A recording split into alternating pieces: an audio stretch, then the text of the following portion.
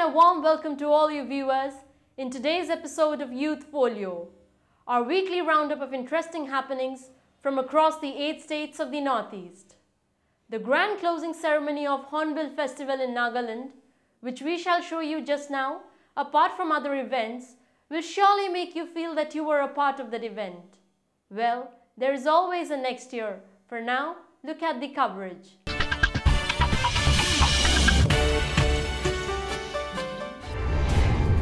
Over 2 lakh visitors enjoyed the grand finale of Hornbill Festival in Nagaland. Prasar Bharati will upgrade transmitters of All India Radio and Doordarshan in Tripura shortly. Manipur pays homage to brave women on Nupilal Day.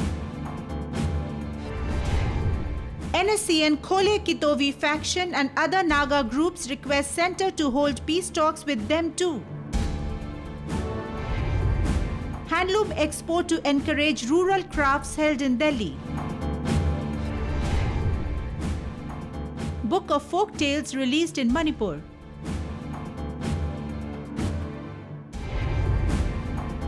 Tripura gets a new sports stadium.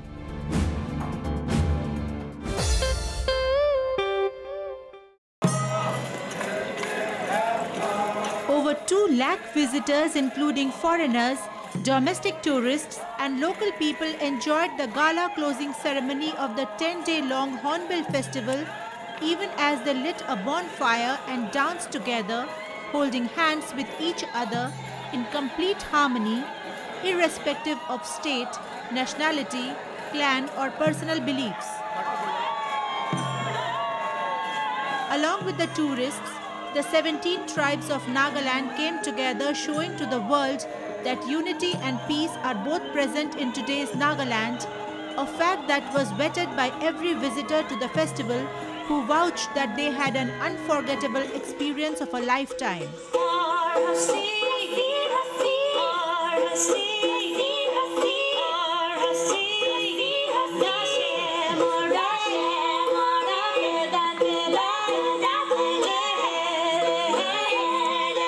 I came here purely on a holiday, and today I think I can call myself a self-proclaimed ambassador of Nagaland state. Okay, because I think the way we've been welcomed out here, the way we've been uh, treated out here, is unbelievable.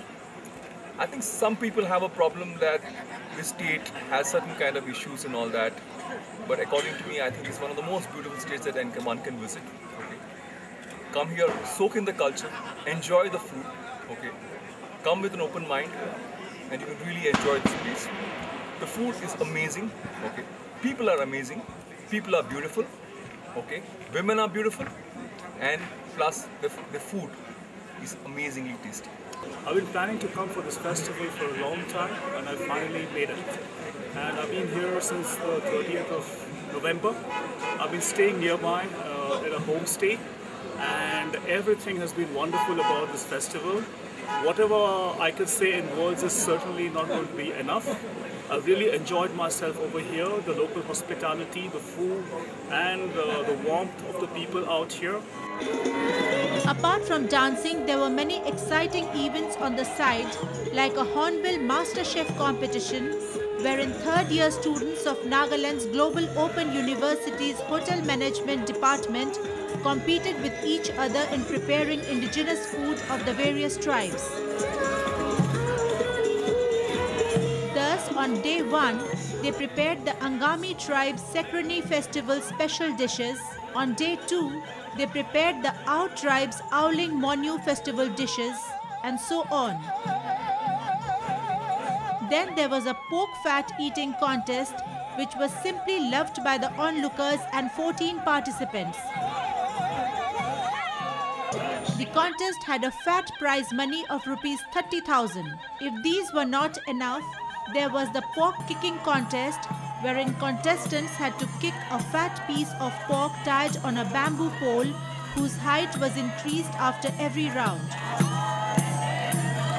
Finally, the contest with prize money of rupees 15,000 for the winner, rupees 10,000 for the first runners up, and rupees 5000 for the second runners up was won by Mr. A.C. Melan Momin from the Garo Hills of Meghalaya.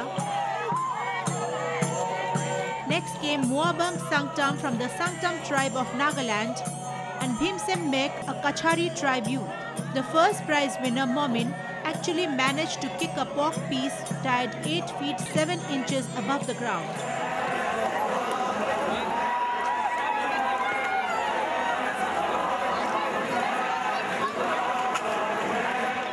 The first position holder has attained a height of 8 feet 7 inches. This is a huge result. This is one of the big, big achievement in the Hornbill Festival.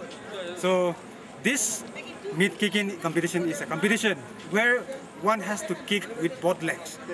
But today we did not arrange in a convenient manner. So the rules have been relaxed where after the seventh level, a competi competitors, a participants could kick the meat with one leg only.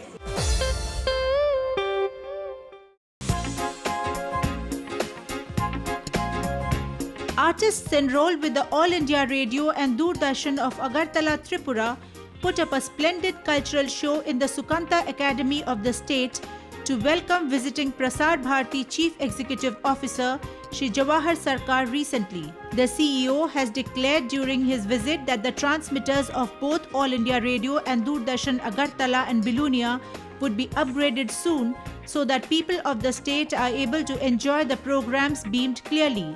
The Prasar Bharati CEO, who was particularly pleased with the quality of cultural shows put up during the evening program, also met Chief Minister Sri Manik Sarkar to appraise him of the many plans of the public broadcaster for Tripura.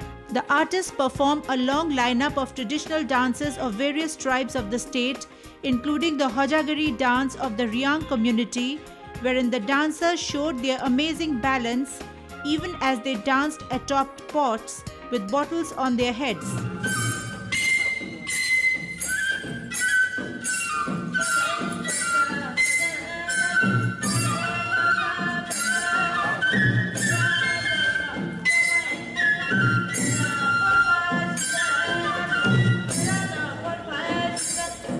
Then there was the Dala and bamboo instrument dance.